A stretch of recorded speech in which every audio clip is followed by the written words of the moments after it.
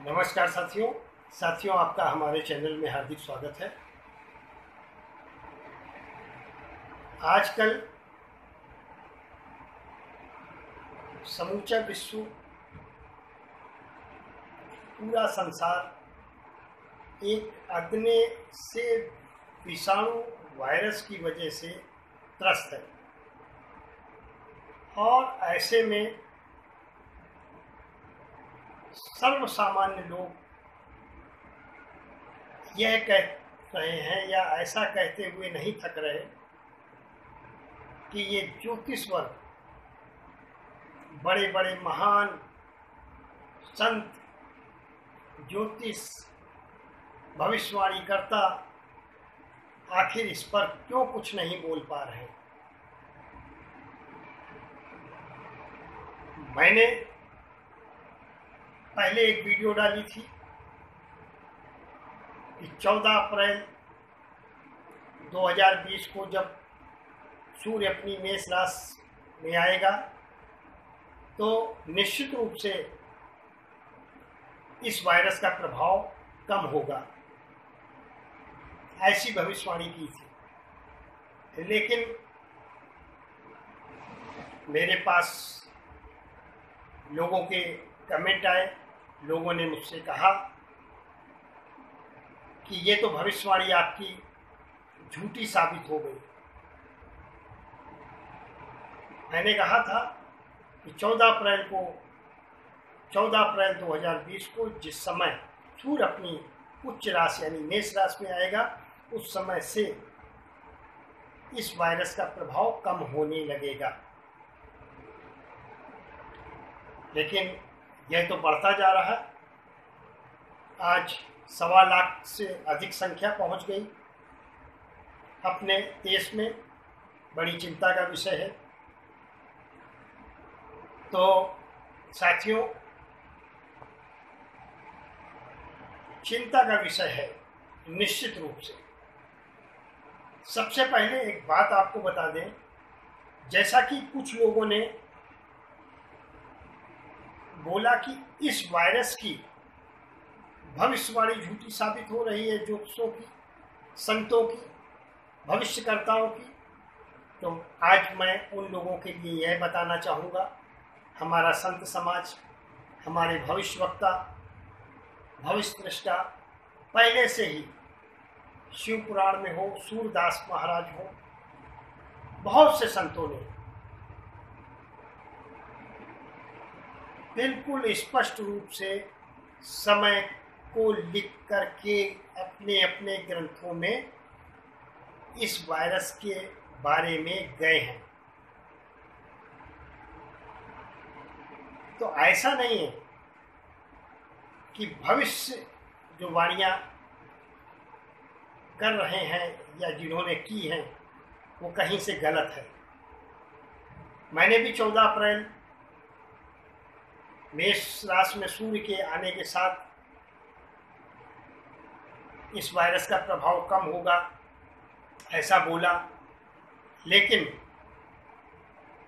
जो संख्या दस बीस हज़ार पे थी, आज सवा लाख पे पहुँच गई। तो ऐसा लगने लगा कि ये प्रभाव तो बढ़ता ही जा रहा है, कम किधर हुआ, यानी कि भविष्यवाणी झूठी साबित हुई। और ऐसा लगना स्वाभाविक है लेकिन एक बात बताएँ, यदि देखा जाए तो आज बहुत ही तेज़ी से जो टेस्टिंग हो रही है, लाखों की संख्या में आज लोगों की टेस्टिंग है, इस कारण से यह जो पेशेंट है या संक्रमित लोग हैं, वो आज सामने आ रहे हैं। और यदि समय रहते, लॉकडाउन जैसे निर्णय नहीं लिए जाते शुरुआती तो आज यह संख्या लाख सवा लाख में नहीं, भारत में होती। आज कम से कम छः सात लाख से अधिक लोग संक्रमित हो चुके होते तो अभी तो ये जो संख्या दिखाई दे रही है, ये सिर्फ़ और सिर्फ़ टेस्टिंग की वजह से जैसे जैसे टेस्टिंग तेज होगी, संख्या हो सकता है और अधिक बढ़े। लेकिन फिर भी आज मैं एक बात बोलना चाहूँगा कि कोरोना वायरस कोविड से डरने की बात नहीं, डरेंगे तो कहीं ना कहीं नुकसान होगा। इसका प्रभाव निश्चित रूप से क्योंकि दिसंबर में जो सूर्य ग्रहण था, उसके पश्चात शुरू हुआ और छः महीने बाद, यानी कि 21 जून को फिर से सूर्य ग्रहण है एक सूर्य ग्रहण से लेकर दूसरे सूर्य ग्रहण के बीच छः महीने का अंतर जब होता है ग्रहण के बीच तो ये महामारी का समापन ही होता है। फिर 21 जून की आशा और उम्मीद एक बार फिर से लगाए बैठे हैं और निश्चित रूप से इक्कीस जून के बाद हालात काबू में होंगे। आज बहुत से देश वैक्सीन बनाने में जुटे हैं, बहुत से लोग दवाइयाँ खोजने में जुटे हैं और एक बात और कहना चाहेंगे। साथियों, सरकार ने भी प्रयास अपने शुरू किए, एलोपैथी से, आयुर्वेदिक की ओर प्रधानता देने की भी बात की है, प्राथमिकता देने की भी बात की है, और ऐसे में हमारे ही देश में मैं उस दिन एक वीडियो देख रहा था। उसमें कोई भवन सिंह दे करके हैं, एक अक्कलकोट के गवंडी साहब हैं। उन लोगों ने दावा किया है कि उन्होंने कोरोना की दवा तैयार कर ली है। वो परंपरागत वैद्य हैं, आयुर्वेदाचार्य हैं। तो इसलिए उन्होंने ऐसा दावा किया है कि उनके पास कोरोना का एक के पास लस है, जो केवल तीन गुण देने मात्र से कोरोना पेशेंट ठीक हो सकता है, ऐसा उनका दावा है। सिंधे का सिंधे साहब। और दूसरे जो गवंडी साहब हैं, वो पाउडर शेप में उनकी दवा है और वो ये बता रहे हैं कि कोरोना पेशेंट हमारी दवा से ठीक हो सकता है। उन्होंने कलेक्टर को अपने ज़िले के और अधिकारियों को भी सूचना कर रखी है। लेकिन उसके बाद भी इन लोगों को महत्व नहीं दिया जा रहा है। उसका सबसे बड़ा कारण ये है कि अभी सरकार इस प्रयास में है कि इस जो भी दवाइयाँ हैं, वो जो प्राथमिकता है, जो उनकी एक क्षमता है, और किसी को हानि ना पहुँचाए, उस अनुसार कोरोना की दवा तैयार करने में गवर्नमेंट संपूर्ण विश्व की लगी है, इसमें कोई संदेह नहीं। संपूर्ण विश्व अमेरिका भी लगा है, इटली भी लगा है, जापान भी लगा है, उसी के साथ साथ अपना भारत भी वैक्सीन बनाने में, लस तैयार करने में लगा इन्हीं के बीच हमारे ही देश में बहुत से ऐसे साधु संत महात्मा खोजी ऐसे हैं जो बार बार ये दावा कर रहे हैं कि मैंने कोरोना की दवा तैयार कर ली है। अच्छी बात है, यदि किसी के पास ऐसा ज्ञान है तो निश्चित रूप से सरकार को उसका लाभ उठाना चाहिए। लोगों को, मैं तो ये कहूँगा, जिन्होंने दवा तैयार कर रखी है, वो जो पीड़ित लोग हैं, उनको देने की कोशिश करें, उनको दे, निश्चित रूप से लाभ होगा, क्योंकि आयुर्वेद हानि करने का विषय नहीं है, ऐसा सभी लोग कहते हैं। लेकिन सरकार चिंतित इसमें भी होती है, क्योंकि आयुर्वेद का मतलब है कि हल्दी, धनिया, गरम मसाला, अजवाइन या फूल, पेड़ की छाल, पत्ती। लेकिन साथियों, एक बात बोलना चाहेंगे, किसी ने कहा हल्दी पी लो तो करोना ठीक हो जाएगा। करोना मर जाएगा। तो हल्दी आपको मालूम है, बिल्कुल सही बात है। एंटीबायोटिक है, सब कुछ है, विषाणु को मार सकती है, लेकिन हल्दी यदि कोई पीलिया का पेशेंट पी लेगा तो क्या वह जीवित रह सकता है? तो इन्हीं सब बातों को ध्यान में रखते हुए गवर्नमेंट जो लोग दावे कर भी रहे हैं, उनकी ओर शायद ध्यान न दे रही हो, एक अलग का विषय है। जिस प्रकार से किसी को पीलिया हो जाए और उस व्यक्ति को पीलिया का पेशेंट को हमेशा लोग बोलते हैं, ग्लूकोज पियो, गन्ने का रस पियो, उससे पीलिया ठीक होता है। लेकिन यदि वो व्यक्ति शुगर का पेशेंट हो, यानी मधुमेह से पीड़ित हो तो ऐसे में यदि वो गन्ने का रस पिएगा तो वो क्या जीवित रह सकता है? तो इन सभी पहलुओं को भी ध्यान में रखकर शायद सरकार उनकी बातें न ध्यान में ला रही हो, क्योंकि तो सरकार का सोचना इतना है कि जो भी औसत तैयार हो, वो सभी प्रकार के रोगियों को दे, दी जा सके और सभी प्रकार से सुरक्षित हो। लेकिन फिर भी, जिन महात्माओं के पास, संतों के पास ऐसी कोई जड़ी बूटी, ऐसा कोई जो है आयुर्वेद नुस्खा हो, निश्चित रूप से लोगों को बताएँ, लोगों को लाभ दिलाएँ, क्योंकि मैं आयुर्वेद को इसलिए मानता हूँ, उसका कारण है, क्योंकि जिस समय भगवान राम का रावण से युद्ध चल रहा था तो मेघनाथ ने एक लक्ष्मण को मूर्छित कर दिया। मूर्छित करने के बाद पवन पुत्र हनुमान विंध्याचल पर्वत से सुसेन वैद्य के कहने पर संजीवनी बूटी लेकर आए थे।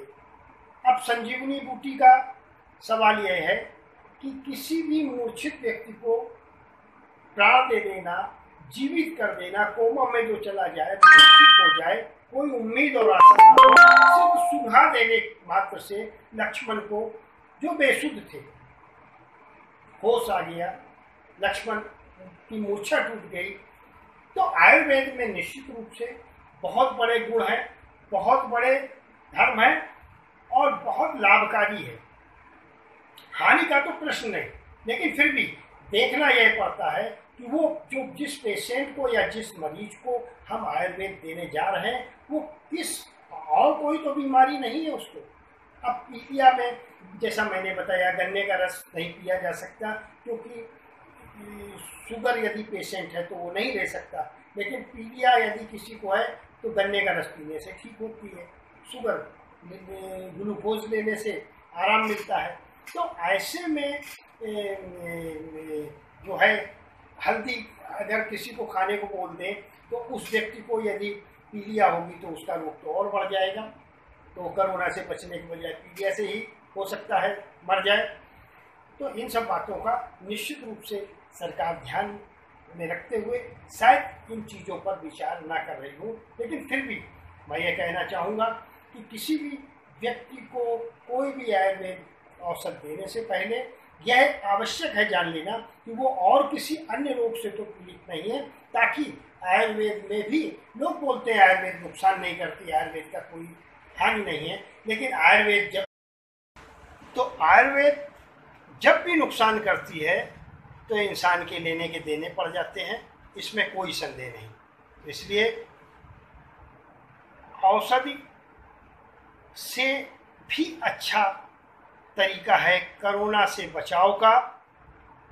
तो सिर्फ़ अपने हाथों को स्वच्छ रखें, साबुन से हाथ धों, सैनिटाइज करें, सैनिटाइजर का इस्तेमाल करें, मुँह में मास्क लगाएँ। जो छोटी और छः फीट की दूरी या दो गज की दूरी ज़रूर आपस में रखें। ऐसे में बचे रहेंगे, इसमें कोई संदेह नहीं। लेकिन सरकार भी प्रयासरत है, हमें भी अपने प्रयासों पर खड़ा उतरना है, इसलिए ईमानदारी से हम इस बीमारी से लड़ें, सतर्क रहें, क्योंकि आगे आने वाले समय में बहुत दिनों तक ना तो लॉकडाउन रहने वाला है, ना ही क्या नाम से जो है सरकार आपको बार बार ये बोलेगी कि आप घर में बंद रहो। क्योंकि सरकार को भी मालूम है, आज समूचा विश्व ने धीरे धीरे लॉकडाउन अपने अपने खोलने शुरू कर दिए। वो समय भी आएगा जब सरकार भी भारत से लॉकडाउन खोल देगी और आपको खुद इस बीमारी से लड़ना पड़ेगा, इस संक्रमण से लड़ना पड़ेगा। तो ऐसे में सबसे बड़ा सवाल ये है कि आप अपनी इम्यूनिटी सिस्टम को मज़बूत रखें, यानी कि अपने खान पान को संतुलित रखें, स्वस्थ रखें, साफ़ सफ़ाई से रहें। साफ़ सफ़ाई का अर्थ ये है कोई भी चीज़ खाने से पहले स्वच्छता से, साबुन से हाथ ज़रूर धोएँ। साबुन बार बार मैं इसलिए कह रहा हूँ कि यह विषाणु साबुन से ही मर जाता है, इतना कमज़ोर है, ऐसा सोच लो। और उसके बाद भी यदि हम इस विषाणु से लड़ने में नाकामयाब होते हैं तो इसमें कहीं ना कहीं हमारी ही गलती है, इसमें भी कोई संदेह नहीं। यह खतरनाक ज़रूर है लेकिन खतरा तब है जब हम इस बीमारी को खुद अपने अंदर लाएँगे और यदि जब तक नहीं चाहेंगे, तब तक यह शरीर के अंदर हमारे संक्रमित नहीं हो सकती, क्योंकि यह एक दूसरे को छूने से संक्रमित होती है। और संक्रमित वाला व्यक्ति यदि अपना हाथ संक्रमक, संक्रमित है, संक्रमण कहीं लग गया, कहीं हाथ मेरा लग गया, उसको सैनिटाइज किया, हाथ धोया तो हमारे शरीर के अंदर जब तक वो वायरस नहीं जाएगा, तब तक हमें कोई भी खतरा नहीं है। इसमें भी कोई संदेह नहीं। अभी तो बहुत से लोगों ने यह भी बताना शुरू किया है कि क्वारंटाइन जो 28 दिवस का था 21 दिन का हो गया, अब 14 दिन का है, अब सात दिन का हो गया, कुछ दिन बाद तीन दिन का हो जाएगा। और अब तो सिस्टम ही ऐसे आ रहे हैं कि आपको संक्रमण है, लेकिन आप स्वस्थ दिख रहे हैं। तो ऐसा भी समय आएगा कि आपको संक्रमण है, आप स्वस्थ हैं आप सभी जगह जाइए, आइए, जब बीमार पड़ेंगे तब देखा जाएगा। ऐसी भी स्थितियाँ आ सकती हैं। इसलिए संक्रमित ना हो और संक्रमित तब तक होने से बचे रहेंगे जब तक आप इस वायरस को खुद अपने अंदर नहीं लेंगे। वीडियो पसंद आई हो तो प्लीज़ लाइक और शेयर करना ना भूलिएगा। सावधान रहें, सतर्क रहें, स्वस्थ रहें। ईश्वर आपको हमेशा सुखी रखे। धन्यवाद।